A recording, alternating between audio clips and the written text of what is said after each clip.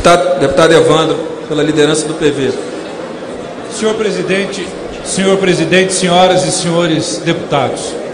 Volto a essa tribuna para tratar de um assunto importante.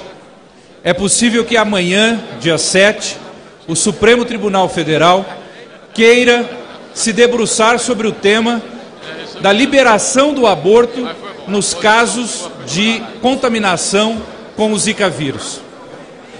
Na semana passada já tivemos uma decisão absolutamente equivocada, na qual a primeira turma do Supremo Tribunal Federal disse simplesmente que não haveria crime de aborto até o terceiro mês de gestação.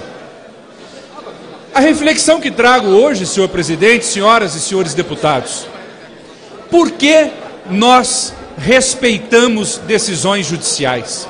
Por que reconhecemos as autoridade, a autoridade dos juízes e a autoridade de suas decisões? Fazemos assim porque confiamos que um juiz será um fiel cumpridor da lei.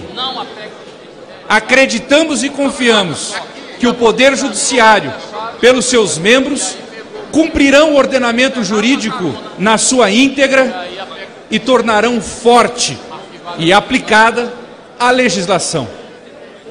No entanto, senhor presidente, quando um juiz passa a decidir, apesar da lei e até mesmo contrário a ela, a natureza e a raiz de sua autoridade se vê perdida.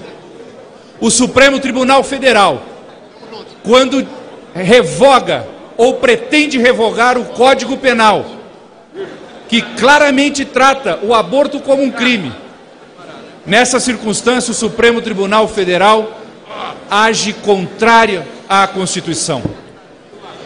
Ele, que é o guardião da Constituição, passa a ser um adversário da Constituição, pois no texto constitucional está consagrado o princípio da legalidade, princípio segundo o qual a lei deve ser cumprida.